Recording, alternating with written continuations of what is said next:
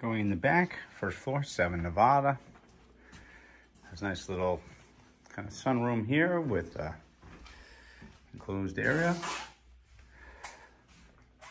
Living room, I guess, probably an addition, forced hot water.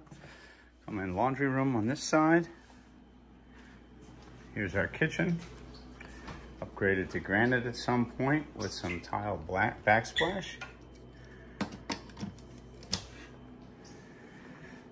There's the old foam setup. I'm gonna go to the front of the building. Nice little kitchen dining area, breakfast nook. Here's our living room. They cut the nice carpet to show the hardwoods underneath.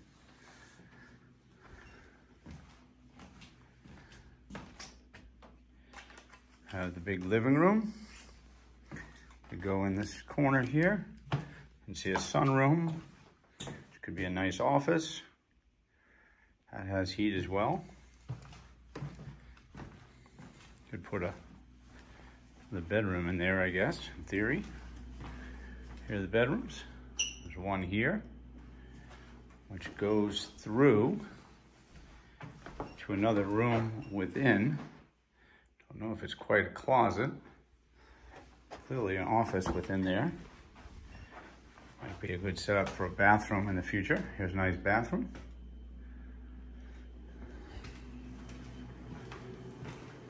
Here's the second bedroom. Very good size. And here we back out into the laundry room area. Let's go downstairs since we're here. Let's see what we got.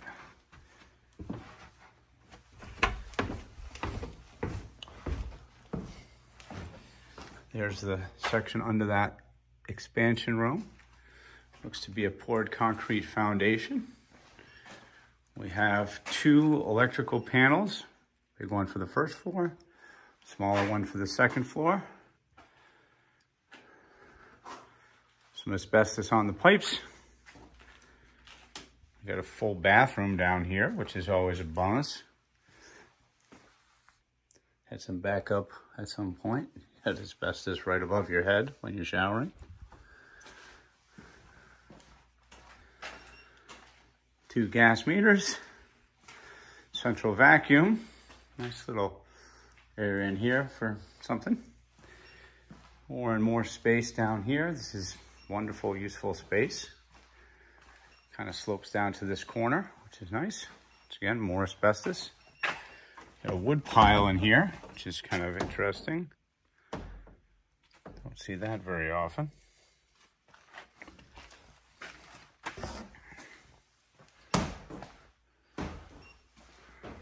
Another little room that has our water meter.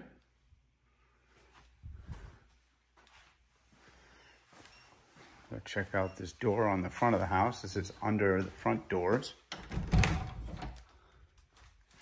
It's just a big closet, but you can see some mold in there.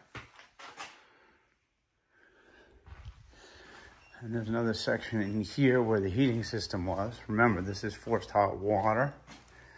But we're seeing the old steam pipes. Can't get in that door. Have to go around the other way. Here's our steam system for the second floor. Here's a hot water heater, newer. And we'll have our forced hot water system over on this side. You see a Navien wall hung with four zones, so three zones of heat and one for the hot water, it appears. Which is very nice.